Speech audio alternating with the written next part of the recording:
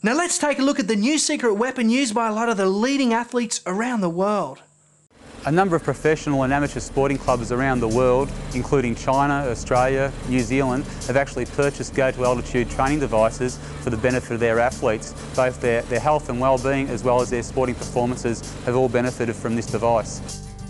The way the GO2Altitude hypoxicator system works is it draws in normal atmospheric air, which is around about 20.9% oxygen. The air then hits the semi-permeable membrane and some of the oxygen diffuses across, others doesn't.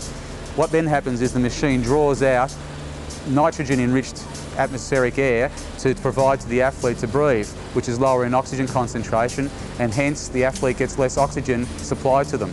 So what benefits does this have for the athlete? The benefits of IHT or intermittent hypoxic training for the athlete are quite wide and diverse. Um, we actually see an increase in the concentration of red blood cells, which means the athlete has the ability to transport more oxygen around the system, which allows the athlete to stay aerobic um, in their exercise for a longer period of time. We also have a bolstering of the immune system function, so the athlete doesn't get as sick as often, and it also has a, a little bit of an improvement in the athlete's ability to recover between intermittent exercise as well.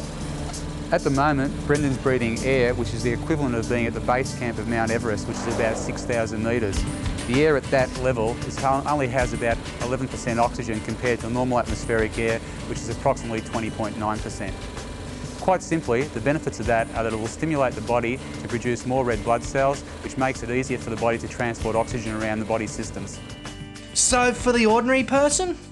Research out of the Soviet Union has also shown that IHT has had beneficial effects for people suffering from chronic fatigue syndrome, female infertility and general health and well-being. So let's talk basically. How would this help me?